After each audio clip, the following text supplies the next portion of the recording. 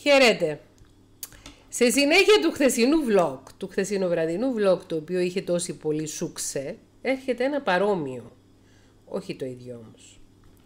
Ρωτάει φίλη, αν οριμότητα σε αυτή την ηλικία, πότε θα οριμάσω επιτέλους να μην ελκύομαι από αδιάγνωστους; Πάμε να μάθουμε τι γίνεται με αυτή τη φίλη. Η οποία είναι σε παρόμοια ηλικία με τη φίλη της χθεσινής επιστολής. Αγαπημένη μου Θέκλα, σε ανακάλυψα στη διάρκεια της καραντίνας και από τότε είσαι η συντροφιά μου, η καθημερινή, και η γυναίκα μου μου άνοιξε τα μάτια και με βοήθησε να βάλω σε κουτάκια πολλά θέματα. Να τα συγυρίσεις, φαντάζομαι. Ευχαριστώ. Είμαι μια γυναίκα 55 χρονών, χωρισμένη από γάμο εδώ και αρκετά χρόνια, με ένα μεγάλο παιδί που ζει σε μια άλλη πόλη λόγω σπουδών και δουλειάς.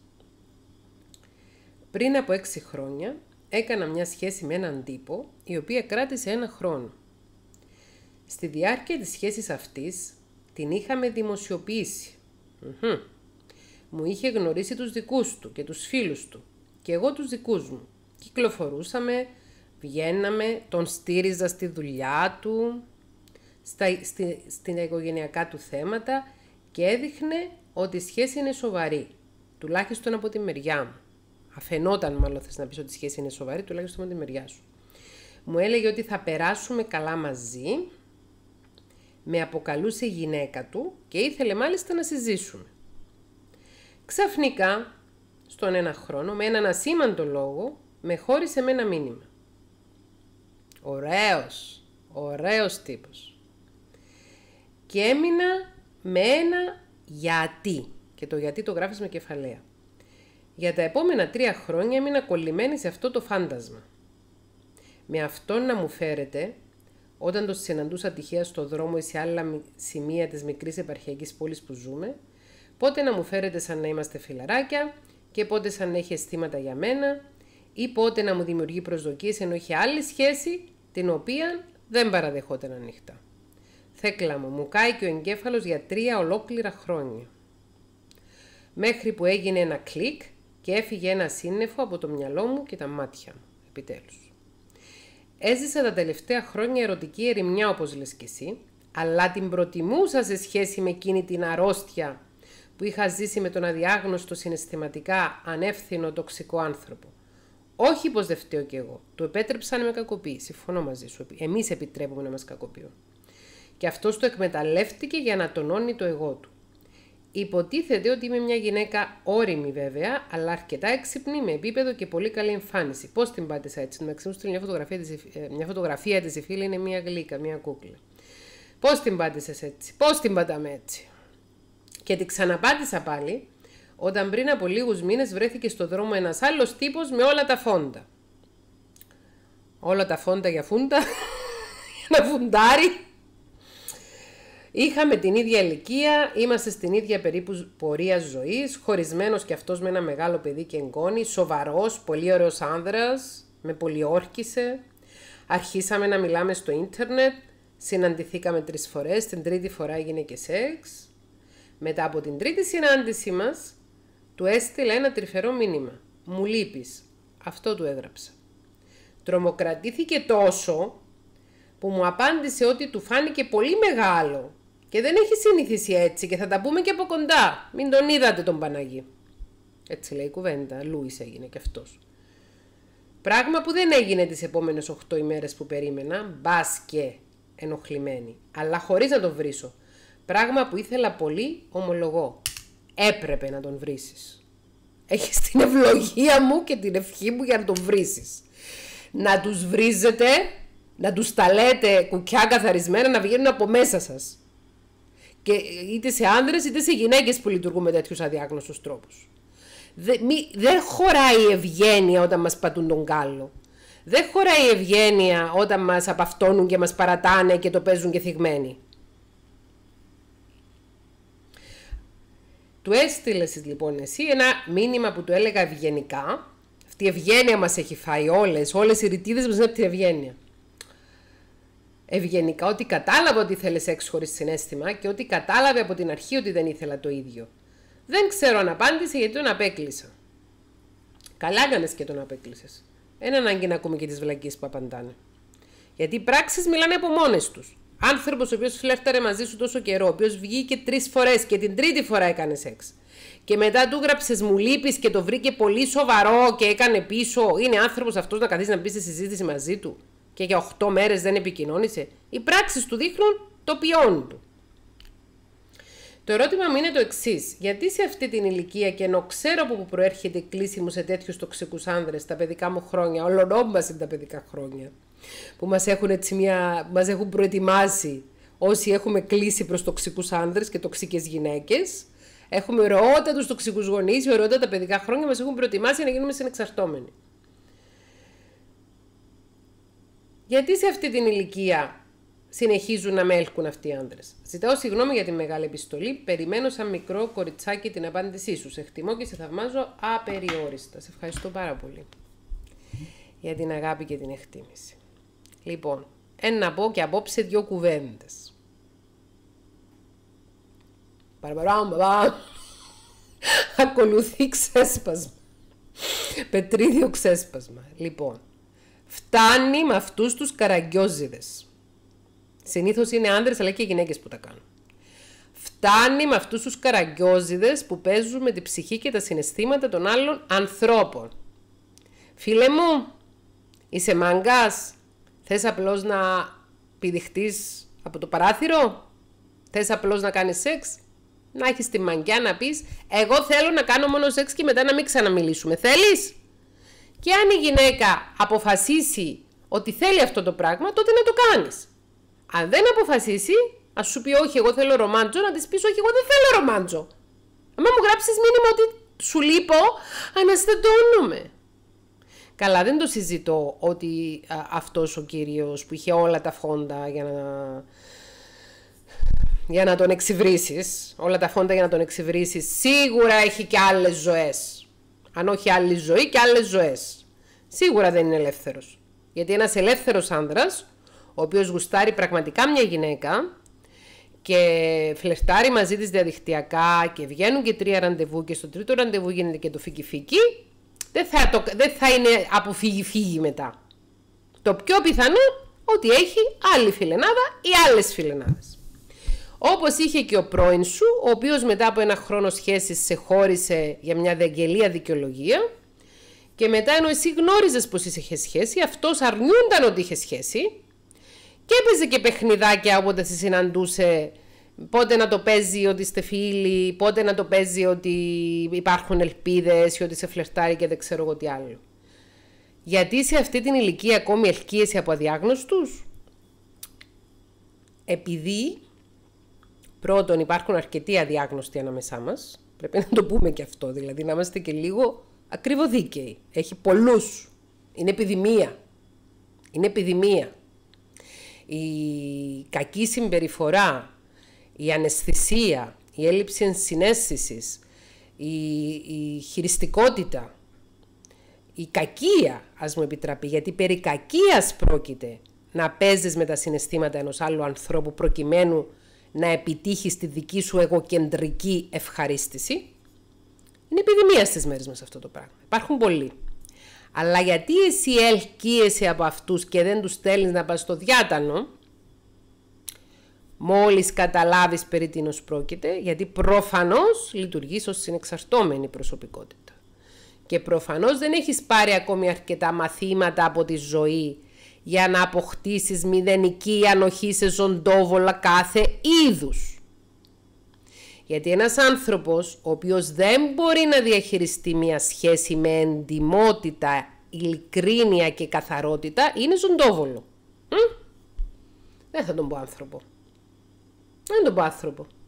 Τι σημαίνει, ε, σοβαρά. Δηλαδή, 55 χρόνια και οι δύο, ε. Στην ίδια μικρή επαρχιακή πόλη.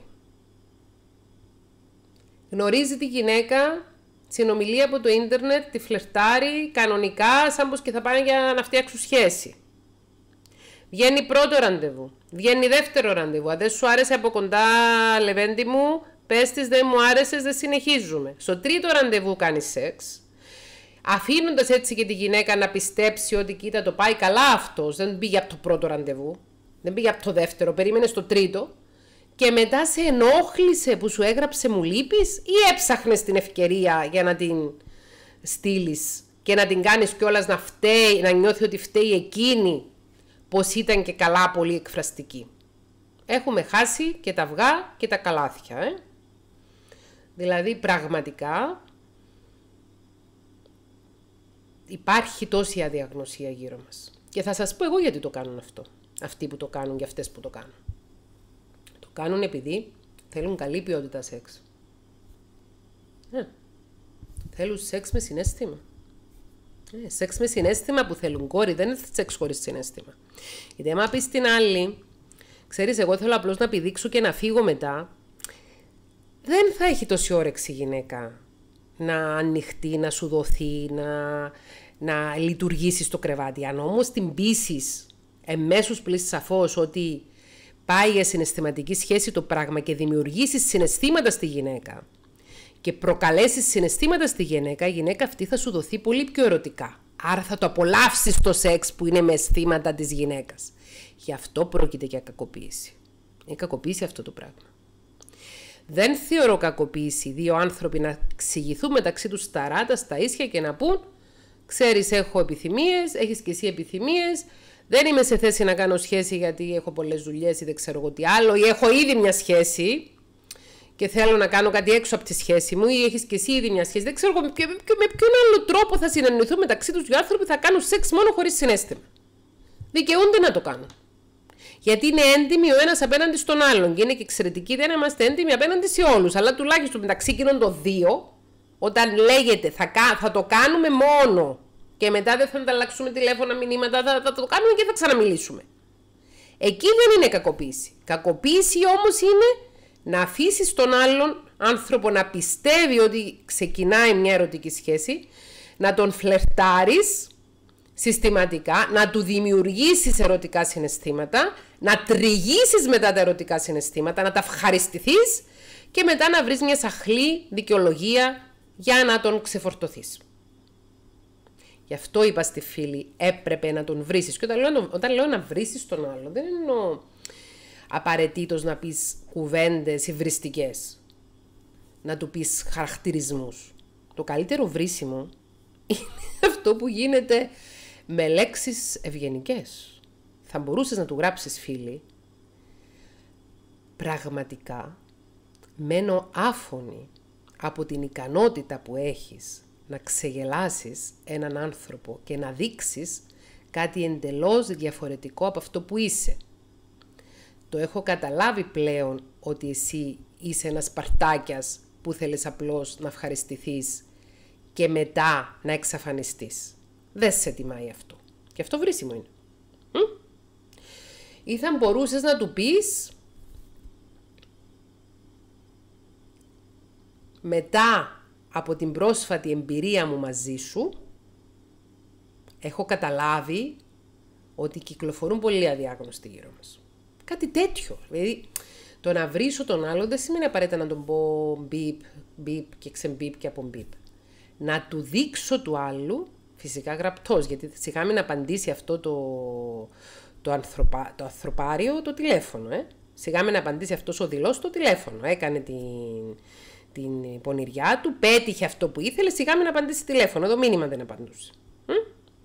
Θα του γράψεις εκεί πέρα ότι τον έχεις καταλάβει, ότι έχεις συνειδητοποιήσει περί τίνος πρόκειται και ότι δεν θέλεις να έχεις καμία απολύτως επαφή μαζί του. Και ότι εάν σε έχει αειδιάσει, ότι σε έχει αειδιάσει η συμπεριφορά του. Είναι διαστική η συμπεριφορά του. Χρειάζονται οι άνθρωποι να έχουν ανατροφοδότηση για τις πράξεις τους. Είναι πάρα πολύ καλή ιδέα να ανοίγουμε το στόμα μας και να μιλάμε και να τους λέμε την αλήθεια. Συμπεριφέρθηκες ως παλιόπεδο. Συμπεριφέρθηκες ως παλιοχαρακτήρας. Έπαιξες με τα συναισθήματα μου. Αυτό που έκανες ήταν άδικο. Αυτό που έκανες ήταν κακοποιητικό. Θα έπρεπε να ντρέπεσαι για την παλιοσυμπεριφορά σου. Γιατί είναι πολύ συχνό παιχνίδι αυτό. Ψήνω ένα, ένα πρόσωπο, το ψήνω καλά-καλά για να αποκτήσει συναισθήματα για μένα, τριγάω μετά τα συναισθήματα και μετά εξαφανίζομαι και του λέω κιόλας μια χαζή δικαιολογία από όλες αυτές τις που είναι συνηθισμένοι να λένε. Καμία λύπηση προς οποιονδήποτε τέτοιον τύπο. Το ότι το έπαθες, shit happens. Life happens. Ξεμπροστιάστε τους. Ξεμπροστιάστε τους ώστε να μην έχουν ξανά ευκαιρία να σας το ξανακάνουν. Να έρθουν με hoovering. Έχουμε πει τι είναι το hoovering. Είναι η προσπάθεια να τραβήξουν κάποιον πίσω στο μαντρί. Γιατί σε αυτή την ηλικία συνεχίζεις να ελκύεσαι από αδιάγνωστους, γιατί είσαι άνθρωπος. Είσαι άνθρωπος και όσο μεγαλώνεις και όσο ζεις και όσο βιώνεις πράγματα, τόσο μαθαίνεις και προχωράς. Αυτή τη φορά όμως είσαι πολύ πιο καλά από την προηγούμενη φορά που μετά από ένα χρόνο σχέση αυτός σε ξεφτέλησε τόσο πολύ και εσύ για τρία χρόνια ασχολούσου μαζί του. Σημαίνει έχεις πάρει εκείνο το μάθημα. Τώρα έχεις πάρει και ένα άλλο μάθημα. Έχεις πάρει και ένα άλλο μάθημα ότι ακόμη και ένας κύριος που έχει όλα τα φόντα και είναι ευπρεπής και καλοντημένος και με καλή δουλειά και με καλή εμφάνιση και ξέρω ότι μπορεί να είναι ένας μεγάλος μακάκας, τεράστιος μακάκας. Τεράστιος. Ο οποίος δεν ε, αξίζει κανενός σεβασμού και καμίας λύπησης. Αν θέλουμε να υπάρξει μια ελπίδα οι άνθρωποι να βελτιώσουν τις συμπεριφορές τους και να πάψουν να δικούν τους συνανθρώπους τους κατάφορα, πρέπει να τους δίνουμε ανατροφοδότηση για τις μακαγκίες τους.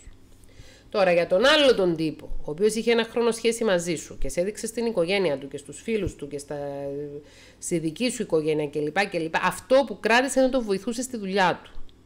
Αυτό που κράτησε. Και άμα μας χωρίσει κάποιος, είναι πάρα πολύ καλή ιδέα να μην ασχολούμαστε μαζί του.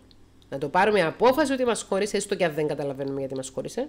Να το πάρουμε απόφαση ότι μας χώρισε και να του συμπεριφερθούμε στο στυλ δεν με θέλεις μία, δεν σε θέλω χίλιες, να πας από εκεί που ήρθες και να μην ξαναγυρίσεις. Δεν σου επιτρέπω να έχεις ξανά πρόσβαση σε μένα. Αυτή είναι η μεγαλύτερη δύναμη που έχουμε. Να βάζουμε μπλόκο σε ανθρώπους που μας έχουν κακοποιήσει, ώστε να μην έχουν πρόσβαση ξανά στο σώμα μας και στη ψυχή μας και στο μυαλό μας. Έχουμε τη δύναμη και μπορούμε να το κάνουμε αυτό το πράγμα. Επίσης, θα σου συμβούλευα τη φίλη, εφόσον την προβληματίζει αυτό το θέμα και αν είναι σε διάθεση και αν έχει την ευχέρεια, να κάνει ψυχοθεραπεία για προσωπική ανάπτυξη, για να βοηθηθεί γενικότερα. Ε, δεν θα της έκανε κακό. Καλό θα της έκανε. Κακό δεν θα της έκανε ψυχοθεραπεία. Καλή δύναμη σε όλους και σε όλες. Ξαναλέω ότι μπορεί και οι γυναίκες να λειτουργήσουν με αυτόν τον τρόπο. Δεν είναι μόνο άντρες που λειτουργούν με αυτόν τον τρόπο. Αυτό το βίντεο δεν είναι ένα βίντεο το οποίο στοχεύει ειδικά σε άνδρες, απλώς επειδή η περίπτωση, οι δύο περιπτώσεις που περιγράφει η φίλη στην επιστολή της έχουν να κάνουν με άνδρες, γι' αυτό μίλησα περισσότερο για άνδρες. Και είτε είστε άνδρα, είτε είστε γυναίκα, οποιοδήποτε ηλικία, σεξουαλικού προσανατολισμού κτλ. και έχετε στη ζωή σας τέτοια επεισόδια αδιάγνωστων ανθρώπων σας κακοποιούν ψυχικά διαμέσου των ερωτικών σχέσεων, κόψτε τους τη φόρα. Ξεμπροστιάστε τους. δώστε τους μια πολύ ρεαλιστική ανατροφοδότηση για να μάθουν επιτέλους ότι δεν είμαστε όλοι παλαβοί και δεν είμαστε όλοι θύματα. Και ότι αν κάποιος είναι θυματοποιημένος δεν σημαίνει ότι είναι παλαβός. Γιατί παίζουν και με την νοημοσύνη μας, με τις χαζές βλακίες που λένε ως δικαιολογίες. Αυτά. Καλό βράδυ και θα τελειώσω με κάτι αισιόδοξο. Το λέει και μια φίλη μου.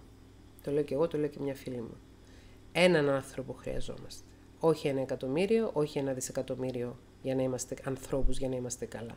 Έναν άνθρωπο χρειαζόμαστε και παρόλο που υπάρχουν πολλοί αδιάγνωστοι και πολλές αδιάγνωστες γύρω μας, εάν έχουμε τα μάτια μας ανοιχτά και αποκρούμε κρούσεις από αδιάγνωστους ή αδιάγνωστες, τότε εάν συναντήσουμε στη ζωή κάποιον άνθρωπο κατάλληλο, θα είμαστε ελεύθεροι και θα μπορούμε να προχωρήσουμε σε σχέση μαζί του ή μαζί της, αλλά ξανατονίζω ότι δεν είναι απαραίτητο να είμαστε ζευγαρωμένοι για να είμαστε καλά. Δεν είναι απαραίτητο αυτό το πράγμα. Είναι ένας από τους μεγαλύτερους αστικούς μύθους, ότι όποιος είναι ερωτευμένος ή όποιος είναι ζευγαρωμένος περνάει καλά. Εδώ στο κανάλι μας το γνωρίζουμε, γιατί αρκετές επιστολές που κάνουμε vlogs αφορούν ανθρώπους που είναι σε σχέση ή σε γάμο και είναι δυστυχείς. Καλό βράδυ και καλό Σαββατοκύριακο σε όλους.